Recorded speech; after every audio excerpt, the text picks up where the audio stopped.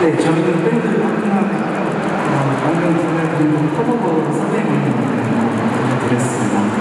네.